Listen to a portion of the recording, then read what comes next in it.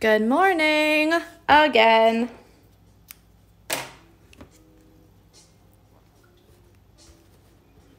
Good morning, good morning. How are you?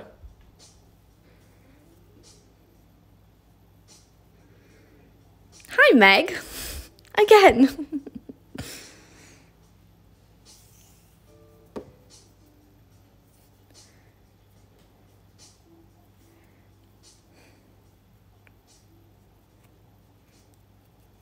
Okay. So yesterday we did all six strands and a straight stitch. Good morning. In the middle of these flowers. Now they have, of course, they're the same flowers that we've just drawn on the free stitch along. Um, but don't worry. I feel like this is not in there very good. Get it together. Hoop. Come on. Hold my hoop in can't be having it. So yeah, I'm doing two live videos every day. So there'll be one most likely at 10 o'clock in the morning for the free stitch along. And then I'll try to do the paid stitch along right after. Um, the difference, some of it will be really different and some of it will just be a little bit different. So in the beginning, I'm kind of easing everybody in with um, very similar but different hoops, if that makes any sense. And I just happen to use like similar colors as well. So there we go. But yeah, um, I'll also try to do a couple that are later in the evening for people who live in America and don't want to wake up at five o'clock in the morning to watch these. And so that they'll have a bit of a chance to chat as well. So hopefully it will work nicely. Okay, so today I've got color and number 88, stranded mouliné, and yesterday I had number 8, so it was 8, 8, 8, like that. Okay, we've got all six strands, and we're going to do the satin stitch. Excuse me, I've got like the burps this morning. I've got a lot going on, guys, okay? Got stuffy nose. I was up late, didn't get my rest. I'm just kidding. All right, so for these here, we're just gonna do these little petals. And we're not gonna go up to like this. We're gonna actually go into just a little bit. So some will be long and some will be shorter, but we're gonna try to make them all go into the thread like that. Okay? The other thing I'm going to do is, and it helps a lot of people, um, is draw lines on. So what we're looking for here is parallel lines. They should be nice and smooth all together. This damn black thread keeps coming through. Yeah? All parallel lines. So you, you shouldn't have any like wedges like we did yesterday where we kind of made some that are not as long as the other ones so that they can fill in the space on the outside. All we're looking for here is for them to be nice and straight, parallel. Um, they will fill the shape a little bit, so you might have a couple shorter ones, and they're gonna go into these threads. So I'm going to stop talking and just go for it. There we go. And let me just poke these out real quick.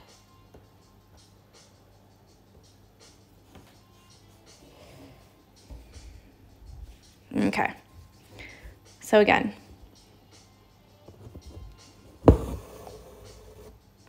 all six strands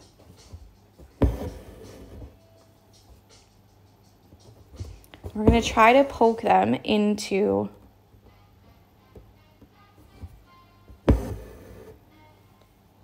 the stitches that we've already made.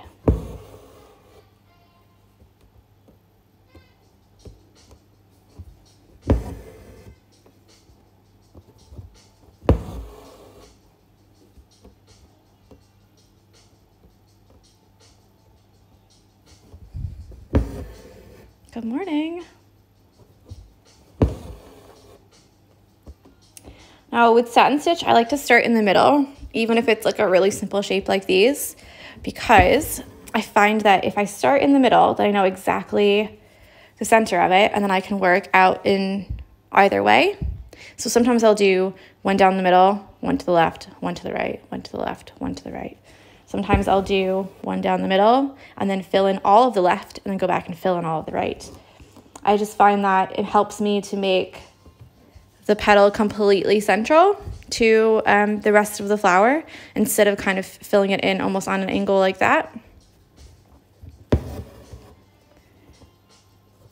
And if you have a different way of doing satin stitch that you absolutely love, um, do that. Do it that way. Like that's totally fine.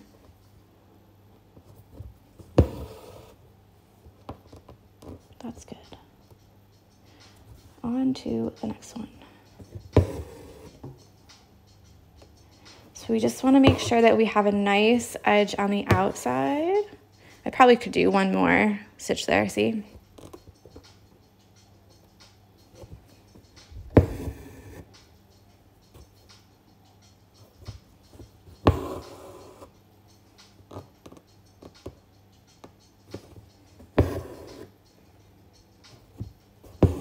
You don't want to go too far in because you still want to have a center. You still want to have the center color there. So if you went all the way into here, then we would really lose a lot of the color. Yeah? So we're just going a little bit. Again, all six strands for this. If you're using a smaller hoop, like a six inch hoop, you might have to go down to four or even three if you think it looks too chunky.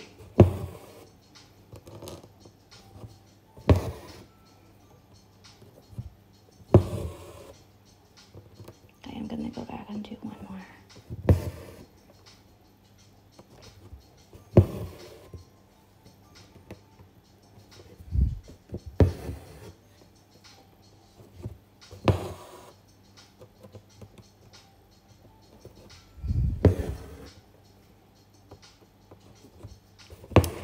I think the sorry. I think the most uh, asked question about satin stitch is how to get them looking smooth, but also how do you know how far apart to put your stitches? And for that, you need to know how thick your thread is. So oftentimes when I was just starting out, I would lay my thread where I wanted it to go. So for example, I'll come up here yeah? And you just have to know how thick is your thread.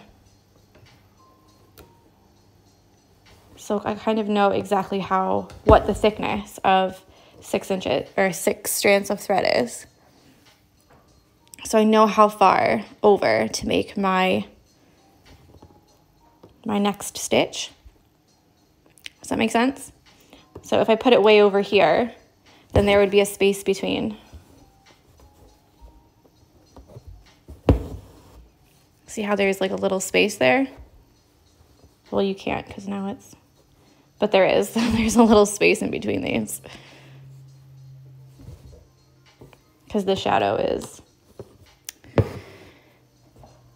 Ruined my own point.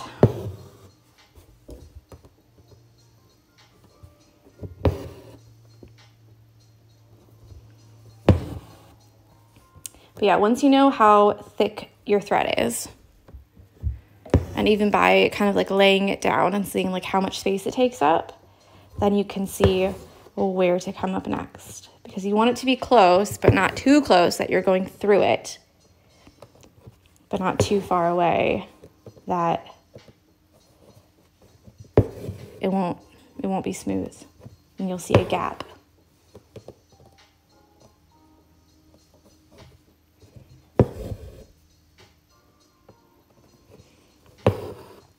And of course, you can always go back in and put a couple more stitches in if you need to. So that's fine.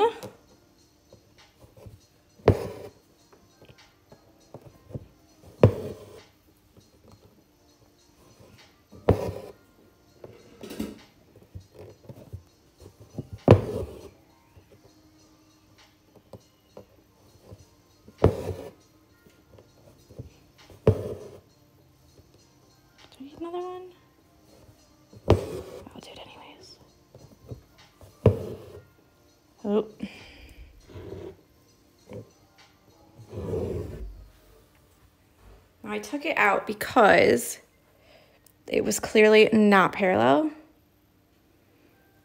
It was over to the side. And that's going to be really distracting. Well, to me.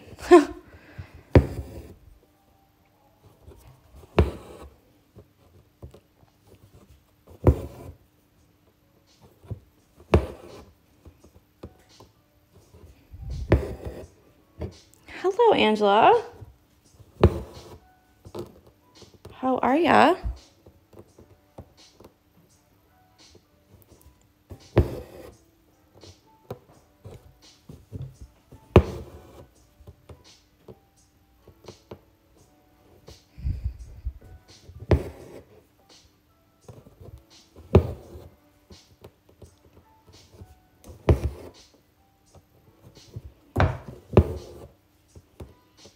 keep hitting my soup cans. Can you hear them?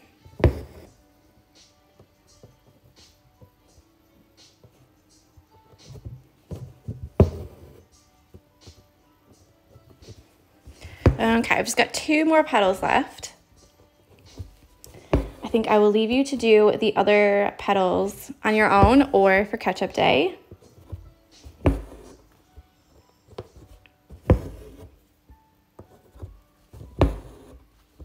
Because it's the exact same as these, you know?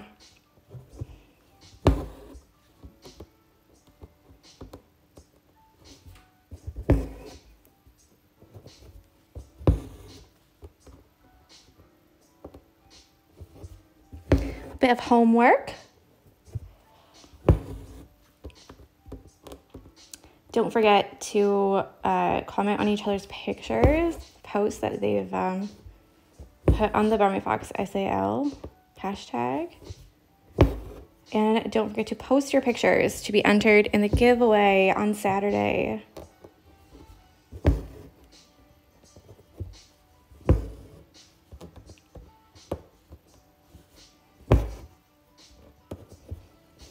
Don't forget we put a knot here, so we're just gonna have to avoid that a little bit.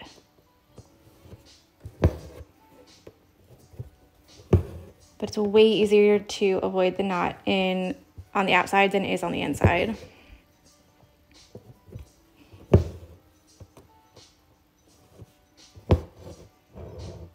Got like the perfect amount of thread.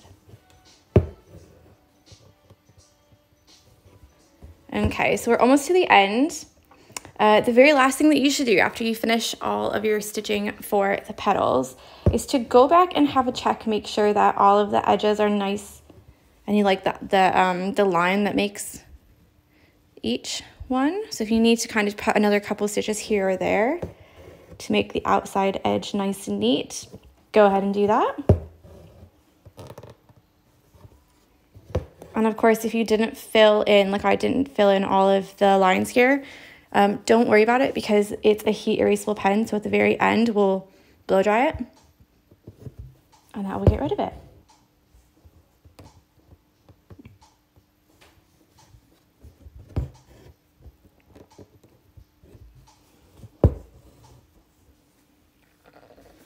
Okay. So that's one flower finished. Yeah? So you can do the other one on your own. Of course you can. Get this. I'm just going to tie a knot here on the end. And that's all. So I hope you guys have a great Monday.